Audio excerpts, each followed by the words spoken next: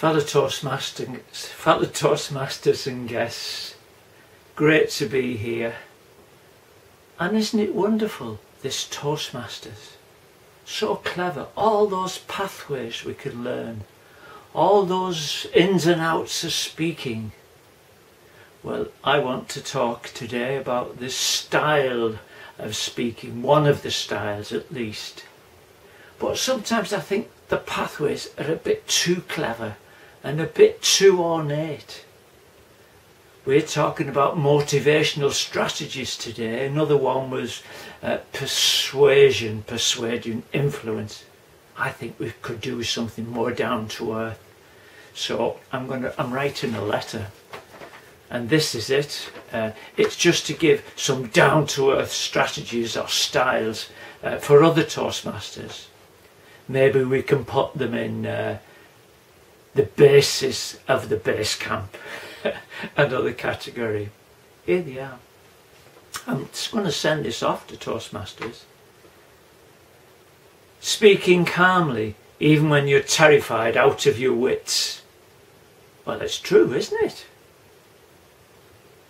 How to appear clever while speaking, even though you are a complete idiot. It's good for business, isn't it, yeah? Or being able to speak and have the face of a tortured monkey at the same time. yeah, but we need something a bit more uh, down to earth and grounded. Anyway, you do all your Toastmasters training, and then what are you at the end? You're a true leader, or you're a true Toastmaster. Yeah? Well, what does that mean? I don't know. I'm going to play with that word true. Uh, are you an authentic person?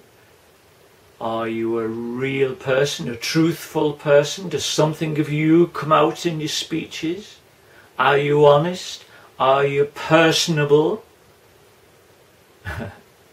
this is what I want to talk about. I was with talking to my cousin the other day and um, she was looking for somewhere a live stream of a church uh, ceremony just so she could attend it.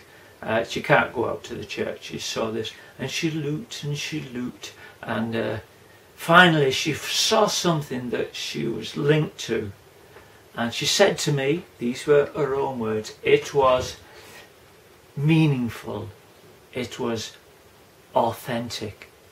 And she was pleased and she was happy. It was actually the Pope saying his Mass in a few words in, uh, in the Vatican on a Sunday. So, uh, one story I want to tell you about this which really sticks in my mind. Uh, it's in the mists of time, but uh, I was once in a school in Mitchelstown, a secondary modern school, and uh, there was a big debate going on. It was a, bit, a debate competition, and the two teams were really excellent. And you could hear the words crisp and clear, each word from each team. They spoke with a logical progression. They moved around a little bit everything was on time and it was really good. So the chief judge came at the end, she said, she gave them all the praises and she said, well, I thought that was magnificent. And said, there's just one thing that enabled me to decide who would win this competition. And it was just a tiny thing, she said. It was when one of the speakers did this. And she said, it personalised it for the whole team. Yes, even that little bit, and that was the only real personal thing in it. And she latched onto it, and they won it because there was some personal element in the speaking. It was not just dried and organised. I thought that was amazing. There's a lad I know, man, you probably know him too, maybe. He's been around long enough. Pat Sexton. Yep, he was a great speaker. Terrific command of words. But I thought he was a bit insincere. And maybe his words sounded a bit false, so I said this to him.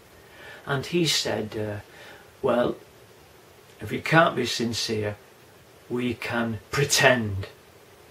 and I had to laugh really because um, I thought, well, if you're doing that, you're not really a Toastmaster, you're an actor. You're presenting things, but it's not you. And actors are like that, aren't they? So just think now, uh, if you're doing, maybe you've, you've got a book and you really like it, or a television show, and you want to talk about it. So you bring it to Toastmasters and you talk about it. But all you might do is just regurgitate everything there, regurgitate it. Well, that's not natural. And uh, an Indian guru once said, quite well, thought this was very good. A thing practiced is never true. A thing practiced is never true. So, we're looking at authenticity, we're looking at naturalness, we're looking at something, personality, which would go into your Toastmaster speech and give it that little closeness as though almost you're with your own friends. Finally, I just want to do a little poem to bring the ideas together. And it's called Honestly Speaking. Speak not in false tones to me, or with stiff words. Speak from your bones. May the words come from your flesh. May your honest living and your family's affections be part of your movements. Do not desert your inner self.